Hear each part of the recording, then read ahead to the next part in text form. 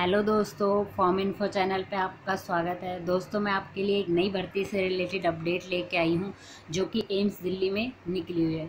दोस्तों, इस भर्ती से रिलेटेड सारी डिटेल देखने से पहले, यदि आप इस चैनल पे पहली बार आएँ तो चैनल को ज़रूर सब्सक्राइब करें और बेल आइकन को ऑन करें।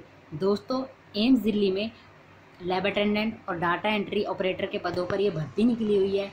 फॉर्म अप्लाई करने के लिए जो लास्ट डेट है, वो पाँच सितंबर 2020 बताई गई है। दोस्तों, यहाँ पे और मेन डिटेल हम देख लेते हैं।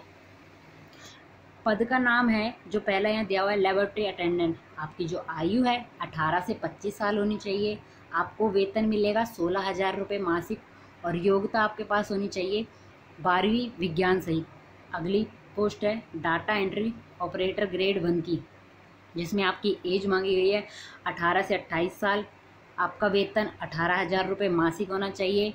और आपकी जो योग्यता मांगी गई है बारहवीं पास तथा कंप्यूटर पर अंग्रेज़ी में आठ हज़ार की डिप्रेशन प्रति घंटा। अगली पोस्ट है, data entry operator grade two की, जिसमें आपकी आयु मांगी गई है अठारह से बत्तीस साल।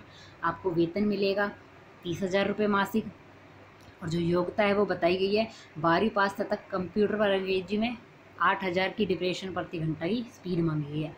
दोस्तों, आपको फॉर्म अप्लाई करने के लिए कोई शुल्क नहीं देना है। और यहाँ पे देख लेते हैं। इन्होंने यहाँ बताया हुआ है कि केवल आप ईमेल के द्वारा ही अपना फॉर्म अप्लाई कर सकते हैं। पाँच सितंबर 2020 से पहले आपको फॉर्म अप्लाई करना है। इस एड्रेस पे जो इन्होंने यहाँ पे जीमेल का दिया हुआ है।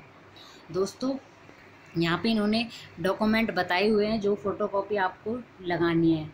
यहाँ पे इन्होंने और मेन मेन शर्त बताई हुई है, आप इनको पढ़ सकते हैं। मैं आपको बता देती हूँ, पॉइंट नंबर छः में इन्होंने यहाँ बताया है, ये भर्ती अस्थायी आधार पर की जाएगी। आपको ज़्यादा जानकारी चाहिए तो आप इस वेबसाइट से ले सकते हैं।